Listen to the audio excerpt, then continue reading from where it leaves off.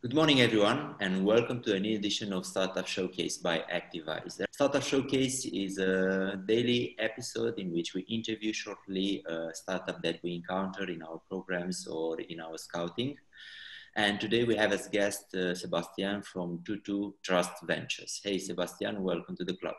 Hello, Mircea. Thank you for having me. Uh, we usually start with short question about uh, saying in one phrase, one minute, what's the startup about? So share with us, please. Sure. Trust Venture uh, is a B2B startup, uh, and we act in the in the fintech ecosystem. Basically, our solution aims at transforming how retail lending is done by introducing dynamic pricing. Though you of course know that dynamic pricing is everywhere in all sorts of industry, but it's not yet in banking. So that's what we intend to do. Yeah, and although Sebastien, you're from France, you're actually living in Romania, and the startup is uh, Romanian based, right? Absolutely. So I'm the only foreigner in the team. Everybody's Romanian, uh, but it's true. I've, I've been living in Romania for 10 years and love the country. How did you come up with the idea? Because it's quite niche, uh, I think. Yeah, so I've been working uh, in the banking industry for the last nine years, and I, I could see that this is a very conservative industry and that needed, or I wanted, and that needed to be uh, shaken up. So that's what we do. So basically, you're offering this to banks or other financial institutions which need what exactly? Yeah we do that. So so the client the the, the client of 22Trust Venture is a bank today and uh, we help them into innovating in this product that is the lending the, the normal credit for you and me that hasn't been changed for hundreds of years because basically the mechanics of credits haven't been changed for hundreds of years. And and by in introducing this dynamic pricing into the mix we fundamentally change to the benefit of the end client of the bank this product and this is where lies the innovation in fact so if i understand correctly the banks would improve their crediting process uh, and uh, scoring and thus the final users like you and me who are want to get credit from the bank they can actually have better conditions and a better valuation Absolutely. So, as you know, today, if you would go to a bank, any bank on the market, what's happening is that you uh, you constitute your credit file, and from the credit file, the bank is telling yes or no. And then they give you a price, which is the interest rate that you are going to repay until the end of your credit. And the story stops there. And what we are doing is that we don't really change this phase, but what we start talking about is what's happened from the moment they give you the money until the end of the credit. So it can be from one year to five year to 30 years on a mortgage credit. And what we intend to do is to price correctly on a monthly basis the client according to his evolving situation. So he can change his financial behaviors, or we have a lot of incentive to modify client behavior to the client's advantage. So the idea is to reduce the price of everyday people on their credit. So then, even after you take the credit uh, along the way, if you have a good behavior, then you can have uh, some extra benefits on the way. Absolutely. So it can be something as easy as saving money. So would you save money, you as a client, on top of reimbursing your credit? That means for the bank that actually you present less risk.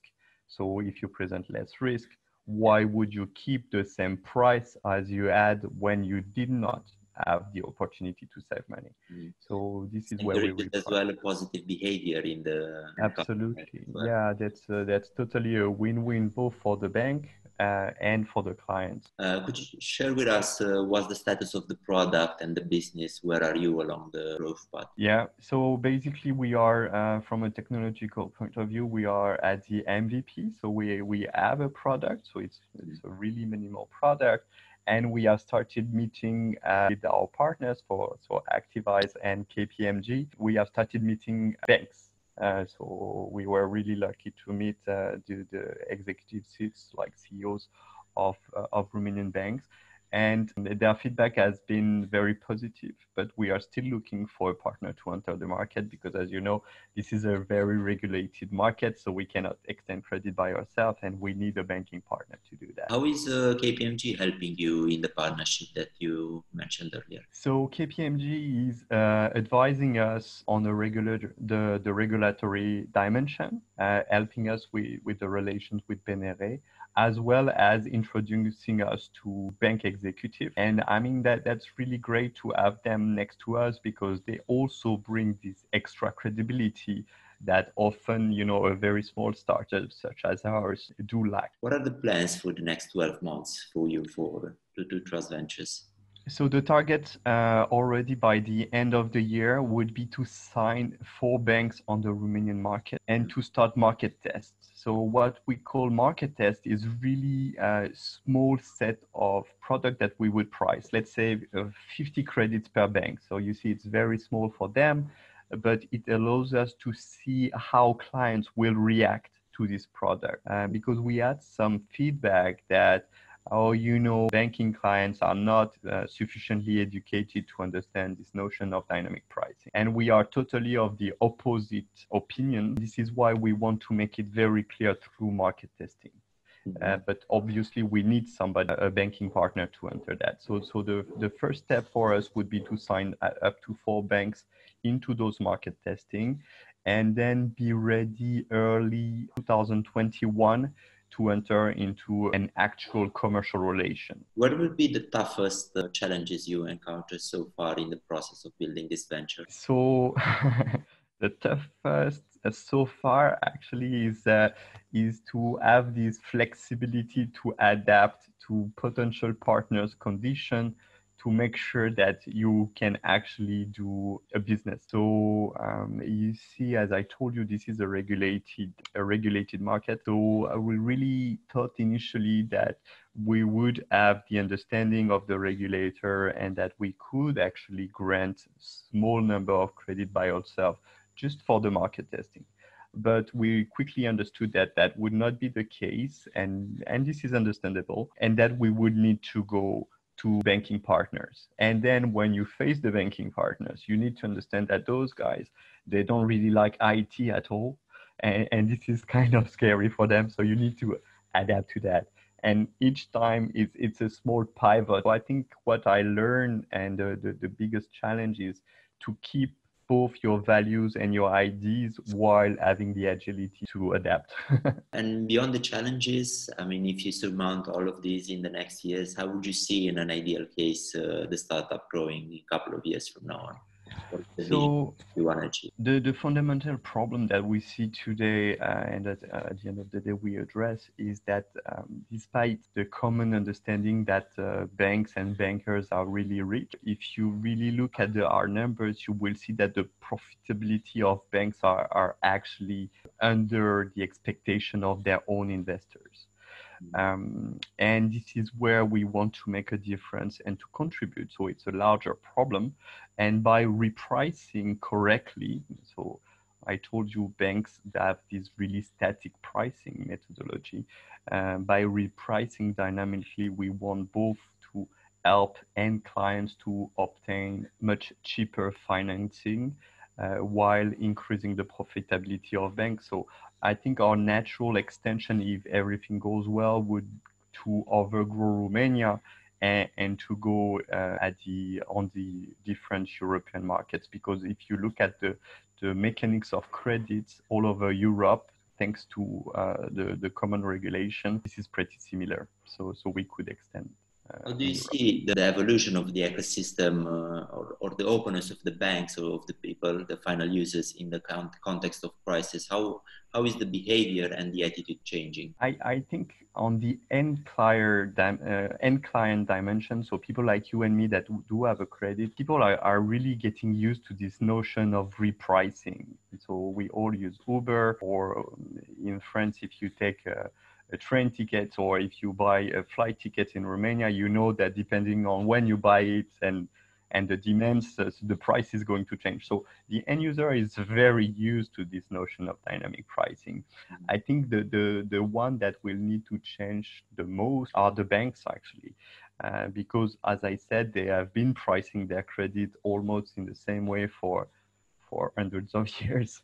So they, this is a big change for them. They will have to, to adapt. For the end users, it's like a gamified uh, process in which if you do specific things and you have a good credit behavior or paying back behavior, then you can actually have uh, discounts later on.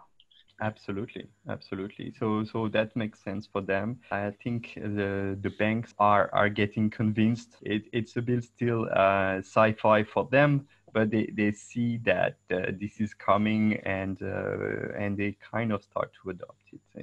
I actually think that you're in a, in a good position because the fintech trend was growing quite a lot uh, lately, also in Eastern Europe, uh, and as well uh, the new fintech uh, startups who are coming up and growing and creating some kind of pressure. So the banks who are older are trying to move fast and adopt technology. So indeed, from this perspective, I think you're in a good spot and it might be that the credits will uh, grow the credits trend will be growing because of the crisis. So this might mean that uh, they're more open to to test new things and to optimize the pricing. Yes i totally agree with you. And if you if you think of uh, people like Revolut or, or big fintech startups, what is very interesting is that almost everybody entered into the, the payment era first because it's it's pretty natural. This is where you have the least barrier to entry, whereas crediting, which is the core of what it means doing banking, is very regulated. The, the, the point here is that we wanted to enter the, this in this core of, of banking because